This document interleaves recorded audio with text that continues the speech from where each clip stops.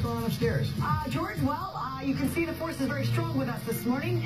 So much excitement for Rogue One. We have one of the movie's biggest. And then we have the most over-the-top ugly Christmas sweater ever. Wait until you see it. You can see these guys are like over-the-top excited. Coming up, GMA's And GMA goes rogue. Star Wars Rogue One storming into theaters overnight, and we're talking with one of the movie's biggest stars. And we're here to say, good morning, Live in Times Square, this is GMA.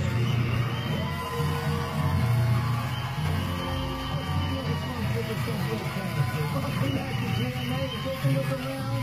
Right here, the Death Star behind us. We are going rogue today.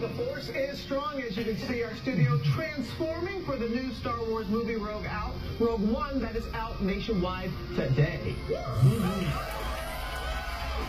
got stormtroopers here, as you saw, a little scary, and our control room is being taken over.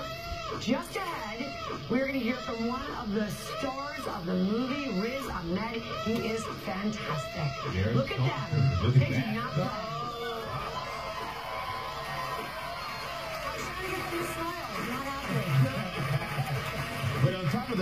Of that, we have much more going on here. Can you feel it? Can you feel the force? The highly anticipated Rogue One, finally in theaters. I got to sit down one the, with one of the actors, Riz Ahmed, to talk about his secret talent. Good. It's really good. Rogue One, a Star Wars story in theaters now, and everyone in our audience is getting not one but two tickets.